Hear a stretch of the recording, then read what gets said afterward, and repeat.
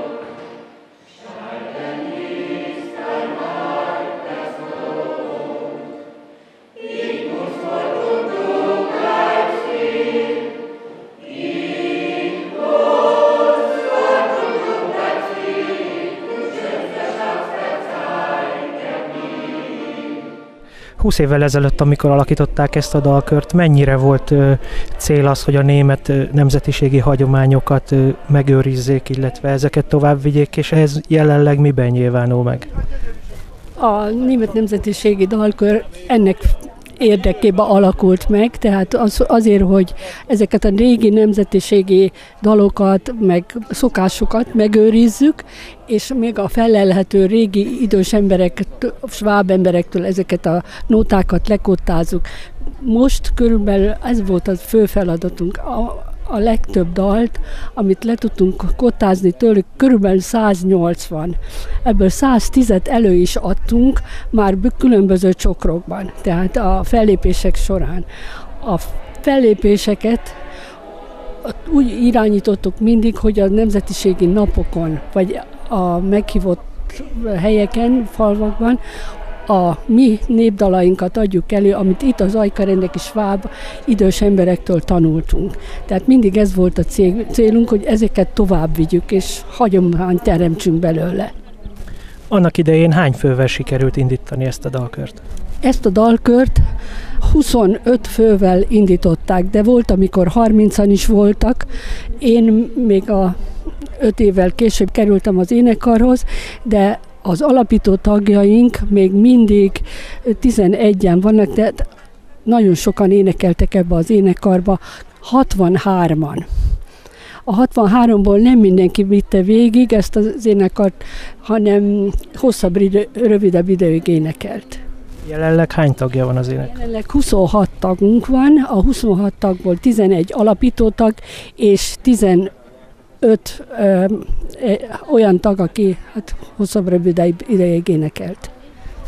Hogy érzi, mennyire vevők a mai fiatalok erre a, a stílusú zenére?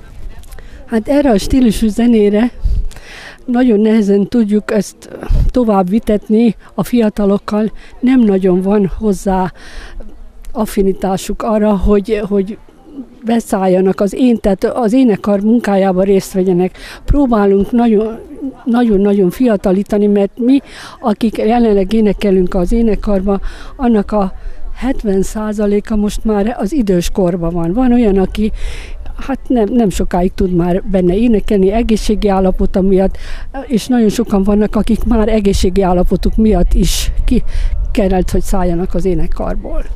Tudjuk azt, hogy mennyi idős a legfiatalabb és a legidősebb tagjuk? Hát a legfiatalabb az olyan 28 éves, a legidősebb az meg 70, 78.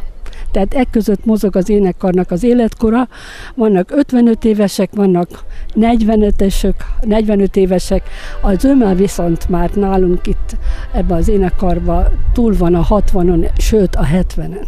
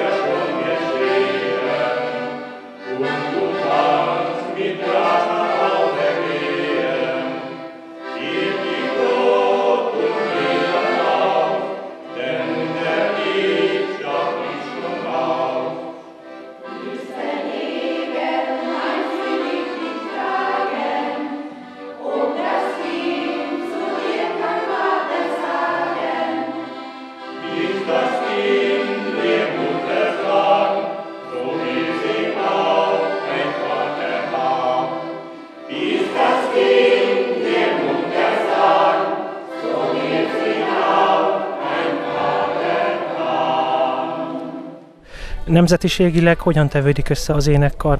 Tehát csak svábok vannak, vagy azért, azért jönnek olyanok is, akiket csak úgy érdekel, vagy szeretik ezeket? A svábok és, és magyar ajkújak vannak közösen, mégpedig még a, az alapító tagok közül is vannak hárman vagy négyen olyan tagok, akik eredeti magyar származásúak, tehát sváb identitással nem rendelkeznek. És van több olyan ö, énekari tagunk, 5-6, aki kimondottan magyar származású. Tehát a többsége viszont sváb kötődésű, itt ajkarendeké az öme. Hát akkor ez azt jelenti, hogy igazából nem csak ajkarendekről várnának önök fiatalokat, hanem a városból bárhonnan jöhetnek azok a fiatalok, akik, akik szeretnének énekelni ebbe az együtt. Akik szeretnének énekelni ebbe az énekarba, mindenkit nagyon szívesen látunk, tehát nincs kikötésünk, hogy Ajkáról vagy a környező községekből jönnek ide, az nekünk mindegy, csak az énekar maradjon fenn, és tudja továbbvinni a, a mi hagyományteremtő szokásainkat. Említette itt az előbb, hogy, hogy azért cserélődtek rendesen a tagok.